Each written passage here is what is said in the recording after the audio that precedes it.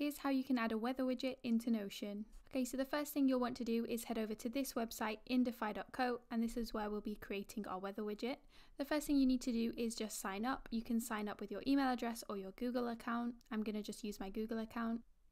Okay, so once you're all signed up, if you just scroll down to the Explore Widgets option and under Volume 1, you'll find our weather widget. So if you just click the button here, Create Widget.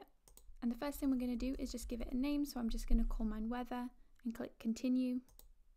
So here it will bring up the pre-made widget. You can customize a lot of the features on the widget, so I'll just show you how to do that. The first thing you want to do is look at the weather location. So it automatically will pull through San Francisco. So you can just change that to your current location. So I'm just going to type in London. Next, you can select your preferred unit. So if you use Fahrenheit, select this option. If you use Celsius, select this option. I'm just going to select Celsius.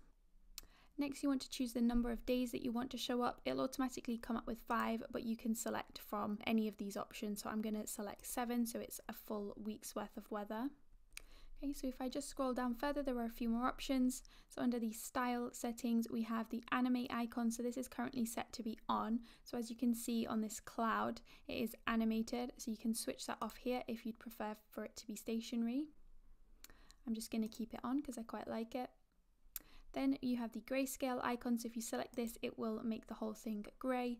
So again, it's up to you if you prefer that. I'm going to keep it off and under the set widget background color if you toggle that on you can actually choose a background color if you prefer so under this option here background color you can pick a color for the background so a range of different options and there's also a color palette here if you want to select your own so I'm just going to choose this gray background you can also change the text color if you want it's already set to a black color but you can change it so if you wanted say purple you can do so. It's really up to you, it's very customizable. And that's it. So once you're happy with your widget, you just want to click this button here, and that is gonna copy the link to your clipboard. So next you want to head back over to Notion and just type in the slash button and then type in embed and you want to click on this embed block here. Then you want to just paste in that link that we've just copied and then click embed link. So if you just wait a few seconds, it will pull through the widget You'll then want to just use these sidebars just to make it a little bit bigger. And there you have it. That is the weather widget. You can play around with the size as much as you want. You can make it smaller. You can make it go downwards if you want it at the side. You can really do anything you want with it. And that's it. That's how you can embed a weather widget in Notion.